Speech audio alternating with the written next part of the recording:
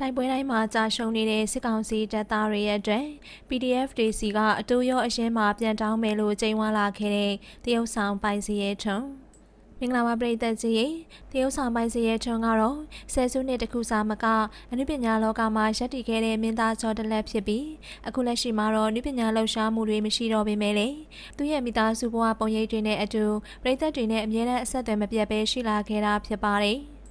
ဇနီးဖြစ်သူစင်သေးနိုင်အပေါ်မှာတဲတဲလှုပ်ချစ်ပြတတ်တဲ့ယောက်ျားတစ်ယောက်အဖြစ်မိန်းကလေးအများစုကအားချခဲ့ကြရတာဖြစ်ပြီးအိမ်အောင်သက်အနည်း20ကျော်ကြာမြင့်တဲ့အထိတယောက်ကိုတယောက်ချစ်မြတ်နိုးကြတဲ့သူတို့နှစ်ယောက်အပေါ်မှာလည်းအိမ်အောင်သက်အများစုကအားချခဲ့ကြရတာဖြစ်ပါတယ်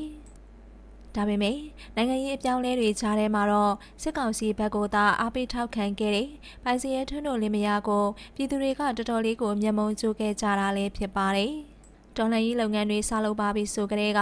ယနေ့အချိန်အထိပြစ်မဲ့ပြည်သူထောင်ပေါင်းများစွာပြစ်သက်ခံခဲ့ရတာဖြစ်ပြီးယနေ့အချိန်အထိနိုင်ငံရေးပုံမှန်နဲ့ဖမ်းဆီးခံထားရတဲ့ပြည်သူတွေလည်းများများစွာရှိနေကြတာဖြစ်ပါတယ်။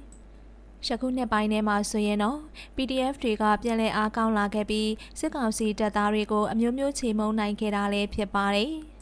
အခုနောက်ပိုင်းတိုက်ပွဲများစွာမှာအရေးနှိမ်နာတွေများနေတာကြောင့်စစ်ကောင်စီကတော်တော်လေးကိုအထိနာနေသလိုဆရာနာရှင်စနစ်ကိုထောက်ခံတဲ့သူတွေအနေနဲ့လည်းအတော်လေးကိုရှင်းနာနေကြရတာဖြစ်ပါတယ်။ဒါကြောင့်မလို့လဲစစ်တပ်ပုံမှုတယောက်ဖြစ်တဲ့ပိုင်စွမ်းအောင်က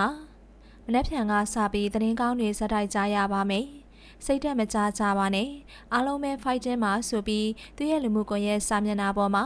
စစ်ကောင်စီအတိုင်းအဝိုင်းအတွက်အပိစကားပြောကြားထားတာဖြစ်ပြီးအဆိုပါပိုးစီအောင်မှာပိုင်စရဲထွန်းက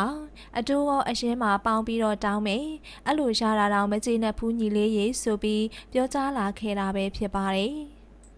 တရုတ်ဆောင်ပိုင်စီရဲ့ထုံအနေနဲ့လူပညာရှင်တယောက်ဖြစ်တဲ့အပြင်ပြည်သူတွေကကြွေးတဲ့ထမင်းကိုစားခဲ့ဘူးသူတယောက်အနေနဲ့ထမင်းရှင်ပြည်သူတွေပေါ်မှာကျေးဇူးမဆက်နိုင်ရင်တော့အခုလိုကိစ္စမျိုးတွေမှာတော့မပါဝင်သင့်ဘူးလို့တချို့သူတွေကလည်းဝေဖန်ခဲ့ကြတာဖြစ်ပါတယ်။ ယခုလက်ရှိမှာတော့ပိုင်စီရဲထုံကသူ့ရဲ့လူမှုကွန်ရက်စာမျက်နှာ Facebook အကောင့်ကိုလော့ချသွားပြီးဖြစ်ပြီးစင်သေးနိုင်ကလည်းသူ့ရဲ့ comment box တွေအားလုံးကိုပိတ်ထားခဲ့တာကြောင့်ပရိသတ်တွေကတော့နောက်ထပ်ဘာမှထပ်ပြောနိုင်ခြင်းမရှိတော့ပေမယ့်အားလုံးကတော့ဝိုင်းဝန်းဆဲဆူနေခဲ့ကြတာလည်းဖြစ်ပါတယ်။